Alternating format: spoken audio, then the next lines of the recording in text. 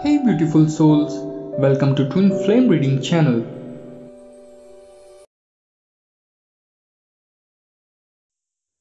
The card revealed that your partner is currently not feeling so positive for you. Something has occurred causing a rift in your relationship.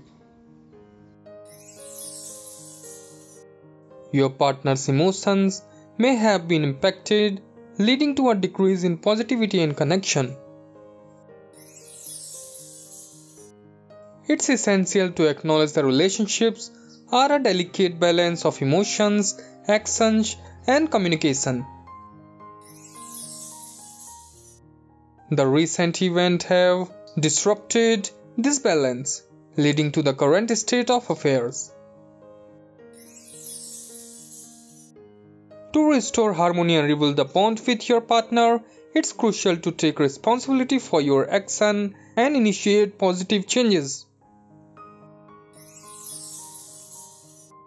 It's understandable to feel hurt and confused by the current situation, but dwelling on negativity won't lead to progress.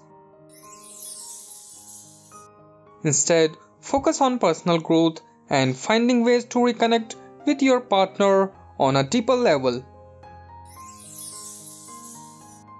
Start by reflecting on your recent actions and behavior that might have affected your partner's feeling. Consider any unintentional mistakes or misunderstandings that might have contributed to the current situation. Self reflection is a vital step towards understanding your role in the relationship dynamics. Sometimes it's the little thing that make a big difference in relationships. Show your partner that you appreciate the value them through small gestures of love and kindness. It could be as simple as leaving a heartfelt note, preparing their favorite meal, or planning a surprise date night.